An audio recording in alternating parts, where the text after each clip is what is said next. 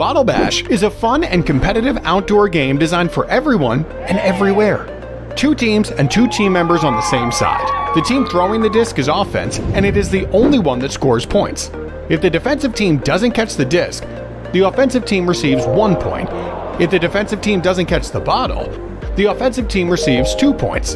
If the defensive team catches either or both items, the points for that item are not awarded. The disc cannot be stopped before it hits the pole. Bring the fun everywhere you go with Bottle Bash.